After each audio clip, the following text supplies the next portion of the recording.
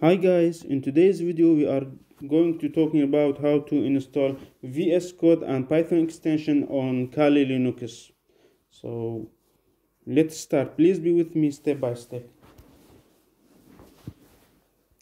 First of all, we are going to download VS Code on the official page on the official website. Yeah, we are just writing VS Code on Google then go to download page. We are going to download the Kali Linux version, this one. Just waiting a few seconds until the download will be finished. Yeah we are just saving it. So yeah it takes a few seconds until it will be downloaded. Actually it depends on your internet connection.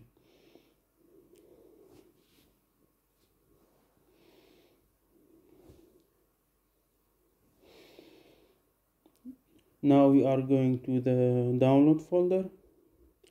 Mm, just deleting the old version yeah.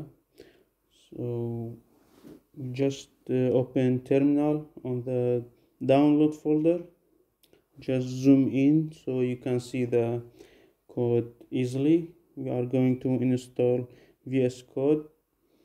Yeah as you can see the package is there. We are just going to write sudo dpkg install this package.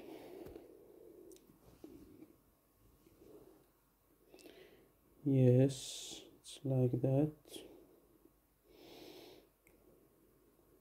just waiting a few seconds it will it will be installed correctly.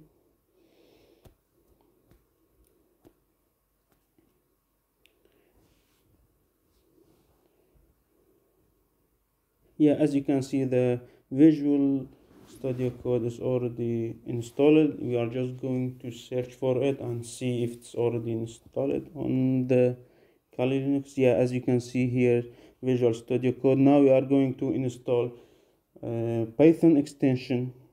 So, as you may already know, VS Code could be used for the JavaScript, Python, Java, PHP, Azure, C++, and so on. Uh, we are just going to extension section to install Python. Yeah, just install it. It's very easy step.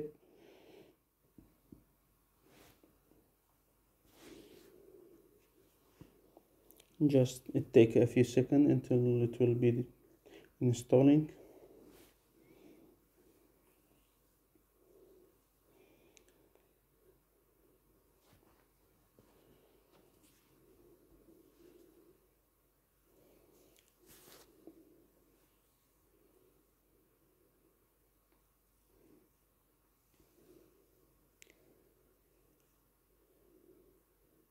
as you can see the python is installed correctly so we are just going to test if this really work on Kali Linux. Yeah we are just have to save the new file. Yeah we are saved with the .py extension which is which is python extension.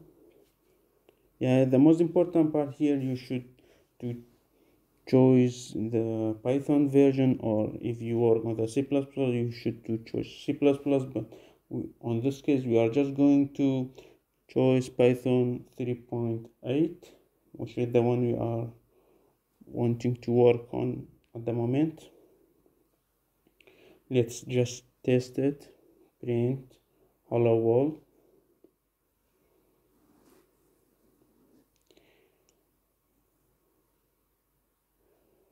as you can see it's worked perfectly so just let's comment it and write another code thank you for watching if you're interested in learning Python application like machine learning, artificial intelligence, automation, data science, and data scrubbing, please subscribe our channel. Thank you.